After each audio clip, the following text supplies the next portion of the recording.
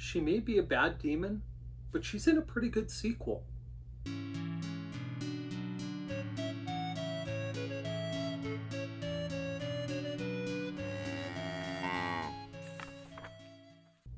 Hi everyone, I'm Jacob, I'm the Cowhat Librarian, and I've got kind of a fun sequel tonight. It is the sequel to Meesh the Bad Demon, and it is Meesh the Bad Demon, The Secret of the Fang by Michelle Lam. And if you've watched my channel for a bit, you'll remember that I talked about the first Meesh the Bad Demon book, and that for the most part I thought it was pretty decent. So I was excited to pick up the sequel, especially because the first book left things off in a way that implied there would be one. As this story starts,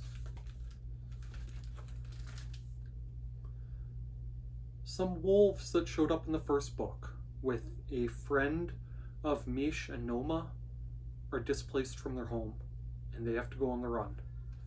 And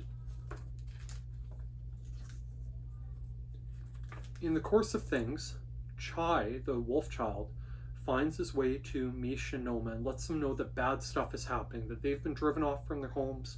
And when they go investigate, they find out that there are stones there, much like the ones that appeared when the um, when Mount Magma was being poisoned in the first book. This is serious, serious stuff. And Meesh and Noma investigate together. Meesh still isn't very good at the demon stuff, and even with the Fang and her status as guardian, she's still not very powerful. And the best thing she has going for her, honestly, is her friendship with Noma and the fact that they support one another and they help each other practice flying and the like. Well, in the course of things, they investigate what's going on, and Meesh is captured. And Noma has to fly off and tell her mom, and they have to make a plan to deal with things. In the course of things, they learn that the people behind this are fairy demons, a cross between fairies and demons, and they were cast out of the fairy land because there was a crop failure and other things happening and the fairies were scared and blamed them and cast them out, and there was no place for them to go. And they built up over the places that used to belong to the fairy demons, including building the massive TV production tower that made The Adventures of Princess Noma right on top of former Demon Fairy land. And the story goes from there with Meesh's grandma and um, Noma's mom, the fairy queen, making a sort of alliance to work together to help deal with this new threat. This was a solid, solid sequel. The characters are still very, very appealing. I love Meesh and Noma. I love their friendship and the fact that they've grown to rely on each other and that they're there to lift each other up when one of them is down. I still like Xavier. He was just sort of a pompous jerk for most of the first book, someone who delighted in rubbing it in Meesh's face how bad she is at being a demon. And in this book, he's her friend and an ally, but there's enough of that edge to him to make him want to pout about being left behind and being annoyed that they want to use him as a counterweight when they practice flying and feeling like he should be the hero of the story to a certain extent and being absolutely thrilled when he gets to put his demon powers to work fighting for something he believes in. He, his characterization was wonderful in this book. It was great. And and the story goes from there. It had a satisfying ending. There was some soul searching on the parts of the characters. There was wrapped up a little bit cleanly, but it was it was well done. And I do recommend it. With that said, it wasn't perfect. There are spoilers ahead, because I have to talk about the deal breakers. Okay, the deal breakers are this. First, while this wrapped up Meesh's story well, in my opinion, it doesn't serve as a good standalone graphic novel. It relies very heavily on readers having read the first Misha the Bad Demon graphic novel. And that's fine that's good. In some ways, I'd almost prefer it this way. I've talked in the past about sequelitis, where subsequent books in a series repeat the same information ad nauseum, and so readers who are reading them one after the other after the other get sick of hearing the same descriptions of the same characters over and over and over again with all these endless recaps.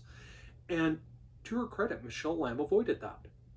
But, again, in my opinion, it made this particular volume less accessible for new readers. I think as a set, as a two book series, Meesh the Bad Demon is quite effective. The second book, as a standalone graphic novel, isn't as well suited for that purpose. And the other thing I just have to say is that the the demon fairies were an interesting idea, and it may have been a neat nod to the challenges that biracial people and mixed race people face in real life when there's prejudice they face from both communities that their parents and ancestors came from.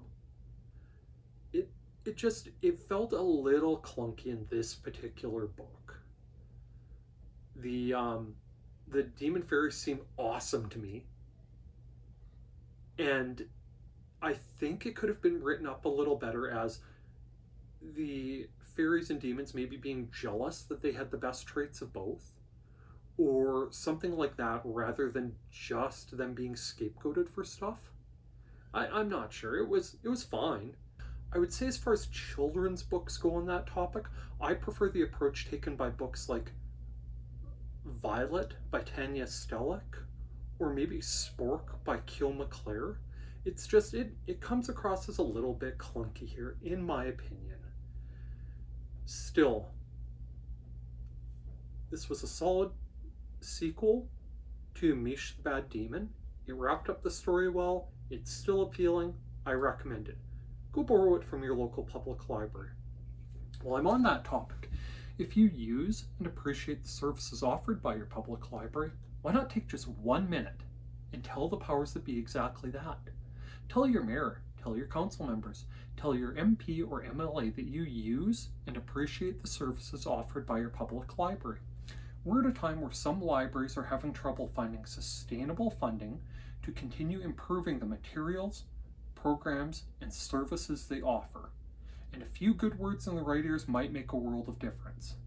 If by some chance you're a library staff member, don't forget, watching my videos counts as professional development time. With that, thanks for listening to me talk about how good a bad demon can be. By all means, please like, please subscribe, and please check back to see what else I have to talk about from the Cowhat Library. Thank you. Bye now.